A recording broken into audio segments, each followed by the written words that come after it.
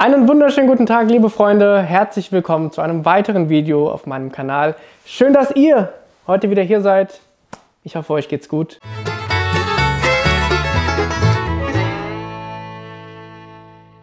Ich melde mich zurück aus einer dreitägigen YouTube-Pause mit einem Latest Pickup Video. Und weil das letzte so lange her ist, gibt es heute einen ja, ein etwas größeres Latest Pickups Video. Ja, wir haben äh, drei Jacken, wir haben zwei, vier, sechs Paar Schuhe, zwei Hosen, Kopfbedeckung und zwei Taschen. Also aus jedem Bereich ist etwas dabei. Deswegen würde ich sagen, let's go! An dieser Stelle solltet ihr mir persönlich noch nicht auf Instagram folgen, dann könnt ihr das jetzt gerne nachholen at byjd. Dort seht ihr vor YouTube äh, meine neuesten Errungenschaften, gestylt in Outfit-Bildern, random Bildern, äh, random Skate-Videos, Bildern von meinem Opa, was auch immer. Also schaut da gerne vorbei und vergesst doch nicht hier zu abonnieren. Mua. Gesundheit! Um direkt meine Frisur zu zerstören, fangen wir mit der Kopfbedeckung an. Es ist kalt geworden, es ist saukalt geworden. Dementsprechend muss ich Yaboy auch irgendwie warm halten. Ich habe mir diese, was ist das für eine Art von Mütze? Eine Fliegermütze? Ist das eine Fliegermütze? Kann sehr gut sein.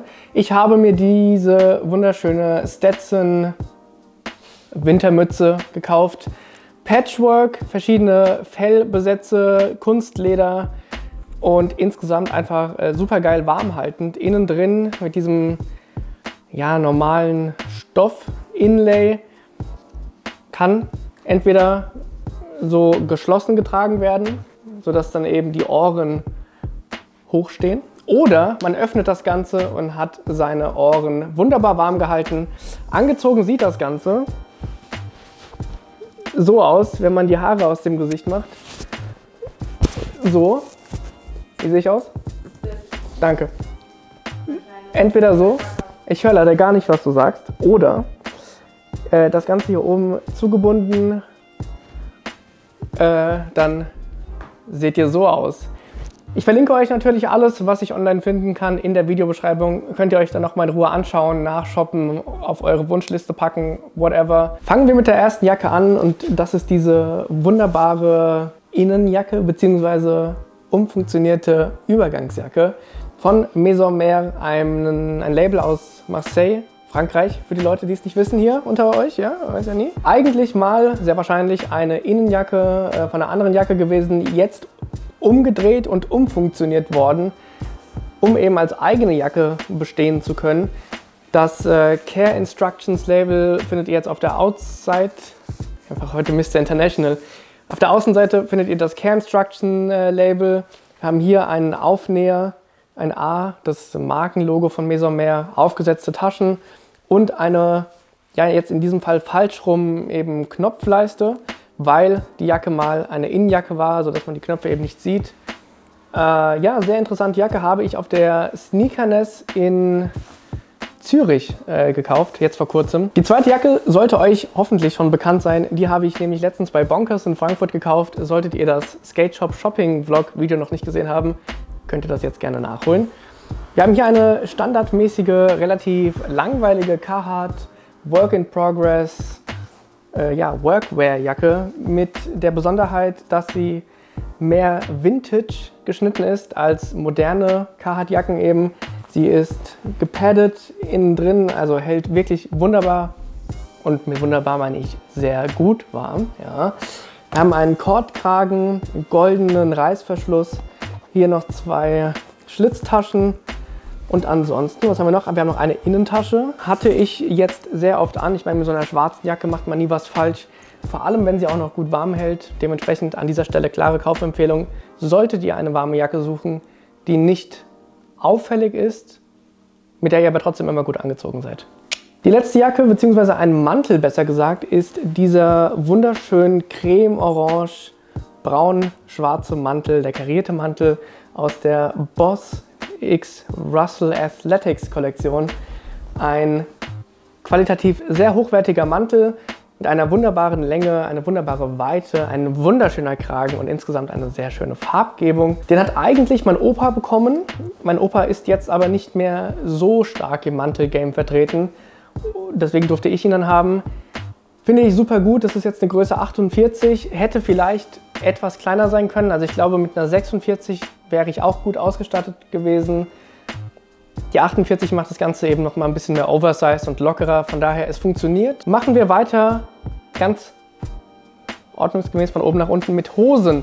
Und da habe ich mir auch letztens eine fucking awesome Hose gekauft. Ich hätte mir die wahrscheinlich nicht online bestellt, wenn ich sie gesehen hätte. In Hand bzw. im Laden fand ich die aber so geil. Eigentlich spricht alles dagegen, dass ich mir diese Hose hätte jemals äh, kaufen sollen, dürfen, wollen, whatever. Aber ich finde die irgendwie geil, vor allem auf äh, schwarze Doc Martens mit, mit einer gelben Naht. Sieht es super cool aus. Es ist keine richtige Jogginghose, es ist keine richtige Chino. Es ist irgendwie so ein perfektes Mittelding.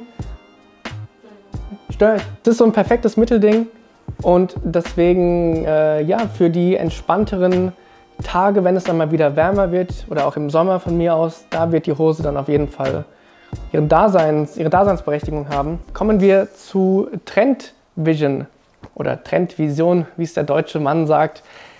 An dieser Stelle gehen Grüße raus an äh, Tu. Vielen, vielen Dank für die Hose. Das ist diese Bondage-Hose mit den wunderbaren Bondage-Elementen. Schöner Straight-Cut-Schnitt, fühlt sich gut an und vom Schnitt äh, schmeichelt sie meinem Körper, wie ich finde auch. Was meine Freundin dazu sagt, ist an dieser Stelle mal äh, zweitrangig und eigentlich auch echt egal. Passt aber auf jeden Fall auch zum Nagellack farblich, also von daher very nice. Weiter geht es mit Sneakern. Und auch da habe ich mir in, ah, tatsächlich nicht in Zürich, sondern auf der Sneakernest in Amsterdam, ist jetzt auch schon wieder ein bisschen her, dort habe ich mir ein paar äh, Nike Air Max 95 gekauft mit Preisschild noch auf der Sohle, obwohl ich die schon ein paar Mal anhatte. Okay, das hier sind die Nike Air Max 95 aus dem Animal Pack äh, 2018 müssten die nochmal rausgekommen sein. Also das ist nicht das äh, OG-Modell, sondern die Reissue. Verschiedene Animal Prints auf dem Schuh, äh, diese ja, Fake Animal äh, Haare. Fand ich schon immer das gelungenste Nike Air Max 95 Modell, beziehungsweise der, der Colorway besser gesagt. Ich finde die grünen Schnürsenkel da drin passen einfach irgendwie gar nicht, aber trotzdem dadurch sehr geil. Super guter Schuh, den hatte ich jetzt auch schon echt oft an äh, für meine Verhältnisse und würde auch auf dieses Outfit ganz wunderbar aussehen. Also sehr schöner Schuh und da bin ich sehr froh, einen relativ fairen Preis äh, für zahlen zu dürfen. Wir haben hier den New Balance 990 in Zusammenarbeit mit Levi's. Aus der müsste sogar noch die neueste Zusammenarbeit jetzt gewesen sein. Da kam der 990 in dem blauen Colorway und in einem grauen. Wir haben hier den, äh, die, die Toebox aus Denim, seitliche Panels aus Denim und ansonsten äh, wunderbar hochwertiges, schöner raues Wildleder mit einer weißen Midsole, cremefarbene Schnürsenkel und auch das äh, New Balance N bzw. auch das Levi's Logo ist cremefarben umrandet. Sehr, sehr gelungene Kollaboration. Bleiben uns noch zwei Runner. Äh, natürlich bin ich immer noch in, im Skate-Bereich. Natürlich liebe ich immer noch meine Nike Dunks, meine Vans, was auch immer. Aber Runner haben jetzt wieder so ein kleines Comeback erlebt und ich muss äh, ganz ehrlich gestehen, auch ich bin dem Ganzen wieder ein bisschen zum Opfer gefallen. Wir haben hier die ähm, Essex G Cayano 14 in Kollaboration mit, lasst mich nicht lügen, Angelo Buck. Ein sehr auffälliger, ein sehr lauter Schuh, der zum einen sehr bequem ist, zum anderen eine so geile Farbkombination hat, die ich so vorher noch nie gesehen habe. Also wir haben erstmal dieses grau-silber-schwarze Mesh-Upper über den ganzen Schuh. Wir haben silberne Elemente, wir haben hellblau, so ein, kein richtiges Neongelb, aber so ein, so ein grün-gelb, Bronze und natürlich noch weiß mit ein bisschen Orange auf der Outsole. Ein sehr interessanter Schuh, super, super schön. Und falls ihr den auch haben möchtet, der müsste zum einen bei den meisten Gütern noch verfügbar sein und sehr wahrscheinlich mittlerweile auch im Sale gelandet sein. Also auch hier sehr, sehr geiler Schuh. Funktioniert überraschenderweise auf sehr viele Outfits. Auch wenn er so laut ist, auch wenn er so bunt ist. Ich habe den jetzt auch schon mit Farben getragen, die gar nicht im Schuh drin sind. Und es hat trotzdem irgendwie funktioniert. Also sehr gelungener Schuh, den ich gar nicht so wirklich auf dem Schirm hatte. Und einen letzten Runner haben wir dann noch. Äh, wir bewegen uns jetzt im High-End, im Fashion-Bereich. Und zwar ist das der Dior B30 Sneaker. Neueste Kollektion in dem schwarzen Colorway. Mein Opa hat den in beige, was auch sehr, sehr, sehr, sehr sexy und clean ist. Ich habe den schwarzen Colorway sehr einfach, kann man sehr gut kombinieren mit eigentlich jedem Outfit. Hier trage ich eine 41 statt meiner normalen europäischen 42, also in Designer-Sneakern, in Lederschuhen in der Art immer eine Größe runtergehen. Auch der hier ist für einen Designerschuh super bequem. Den kann ich auch wie andere Runner von New Balance oder äh, Nike, Essex den ganzen Tag anhaben, ohne dass mir meine Füße wehtun. Wir haben noch zwei Paar Schuhe, bevor wir zu den Taschen kommen. Ein paar davon sollte euch schon geläufig sein. Da habe ich ein Video zu gemacht. Wenn ihr das noch nicht gesehen habt, könnt ihr es euch jetzt gerne anschauen. Den Bottega Veneta Quilted Leather Loafer in äh, dem schwarzen Colorway. Ein sehr fetter, globiger, chunky Loafer von Bottega Veneta, überall ausverkauft. Ähm, ja, ein sehr eigenes Design, spaltet wahrscheinlich die Meinungen. Ich finde ihn super geil, hatte ihn jetzt auch schon super oft an, äh, denn auch wenn er sehr breit, sehr klobig ist, der Schuh ist insgesamt sehr leicht und dementsprechend auch wirklich super angenehm zu tragen am Fuß. Das Einzige, was ein bisschen ungewohnt ist bei so einer chunky oder beziehungsweise bei so einer breiten Silhouette, ist tatsächlich das Autofahren. Wenn es darum geht, Gas geben, bremsen, da äh, bleibt man gerne mal an dem anderen Pedal hängen, weil ihr so eine breite Fläche habt. Und das ist eine Größe 41. Also könnt ihr euch ja vorstellen, wie das ist, wenn man breitere Füße hat. Und zu guter Letzt haben wir hier ein paar Cowboy-Stiefel. Und ja, ich wollte die ganze Zeit schon ein richtiges Paar Cowboy-Stiefel haben, also hohe Cowboy-Stiefel. Diese hier sind von Sendra, ähm, ist jetzt mein drittes Paar Stiefel von Sendra. Wie gesagt, jetzt zum ersten Mal ein hoher Cowboy-Boot, fühlt sich auf jeden Fall, äh, solange er neu und nicht eingelaufen ist, sehr, sehr ungewohnt an, an der Wade eben dieses ganze Leder zu spüren. Vom Design her relativ, relativ farblich simpel gehalten. Wir haben äh, schwarz und creme-weiß mit diesen coolen Lederdetails. Die Sohle ist eine, ich meine, 4 oder 4,5 cm hohe, aber mit einem, ja, also schon, schon stark geneigt. Mein Tipp bei solchen Schuhen, die, also so Lederstiefel oder Cowboystiefel, die nicht von Designermarken sind, geht da mit eurer normalen Größe. Ich habe hier eine 42 ich habe ein paar Sendras in 41, die passen zwar auch, sind aber vor allem bei so Spitzenstiefeln extrem eng hier vorne an den Fußzehen. Ähm, dementsprechend bin ich jetzt auf den 42 gegangen, passt perfekt. Und ja, sehr, sehr geiler Schuh auf eine helle Levi's 501, auf eine schwarze Jeans, auf eigentlich alles kann man die ja heutzutage tragen und ist äh, auf jeden Fall ein, ist schon ein Hingucker, ist schon geil. Also ist schon geil. So, und bevor wir das Video jetzt beenden, noch zwei Taschen. Wir haben eine Eastpak Tote Bag in Kollaboration mit Margiela bzw. MM6. Neueste Kollektion, eine sehr interessante Tasche. Also wir haben einen Henkel, wir haben eine Tasche, die ja so gesehen nur ein großes Fach hat, das ihr auch nur erreicht, wenn ihr die Tasche so aufklappt.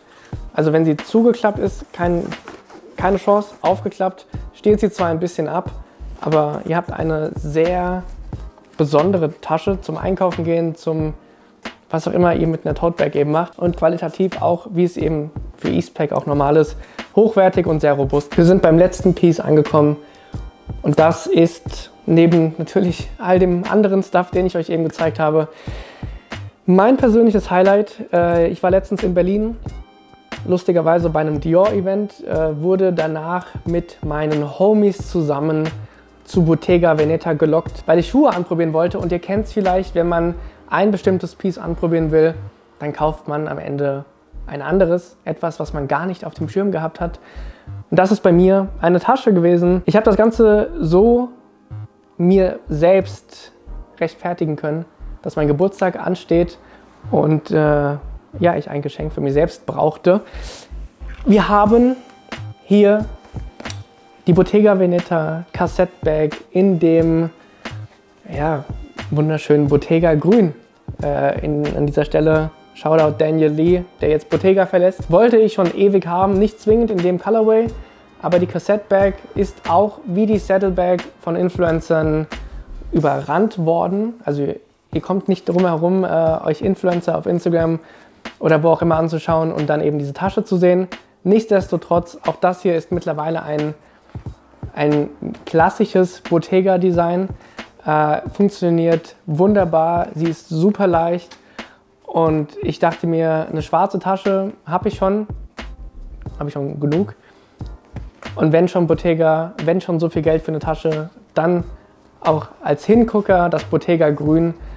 Super, super geile Tasche äh, mit silberner Hardware. Das heißt, der Verschluss der Tasche ist silber und das Bottega Triangle hier als längenverstellbarer Verschluss ist auch in Silber gehalten. Passt natürlich zu mir, weil mein Schmuck grundsätzlich Silber ist. Die Tasche an sich ist ziemlich klein, also ihr bekommt jetzt nicht zwingend viele Sachen rein.